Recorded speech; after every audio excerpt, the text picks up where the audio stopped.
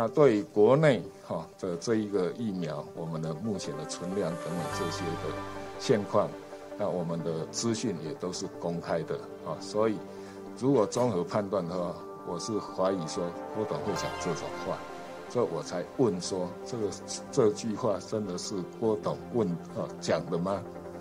啊，那。怎么听起来很像是哦，B N T 或者是上海复兴，在跟我们谈的时候所讲的那那个样子，就十分的类似。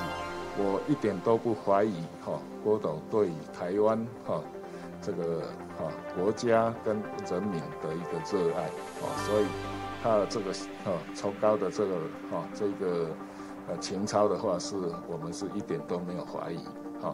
我问一下那个郭董，现在对疫苗上的意见，那你怎么看？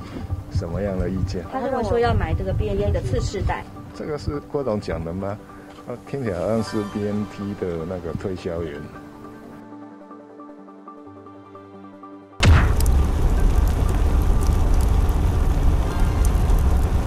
郭董作为一个啊世界知名的啊这一个大企业家。对于这种啊商业上面的判断，他应该是非常清楚的。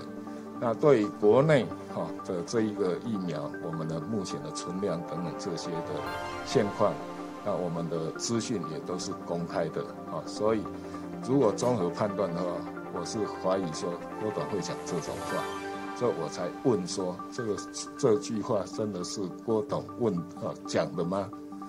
啊，那。怎么听起来很像是哦，B N T 或者是上海复兴，在跟我们谈的时候所讲的那那个样子，就十分的类似。那后面我还有补了一句话，就是我们仍然会哦进行整体啊的一个评估，看是否要采购 B N T 的呃次世代疫苗。所以整个的过程是这个样子。好，那我相信我一点都不怀疑哈郭董对台湾哈。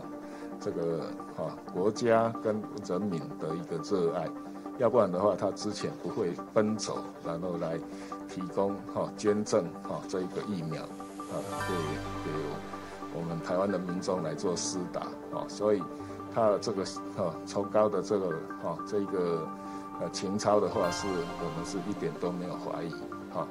那我想哈这个。只是说，在整体的情势的判断，以及说，呃，政府的预算有效的运用的情形之下的话，那似乎哈，应该郭我我的我的认知了哈，郭董应该不会说，呃，要在这个时间要求我们一定要来采购啊这个 BNT 的啊这一个次世代的疫苗哈。啊，似乎应该哈，如果从不管从商业上的判断，或者是整体的判断来讲的话，似乎哈，应该不会提出这种要求才对，所以我是怀疑这一点。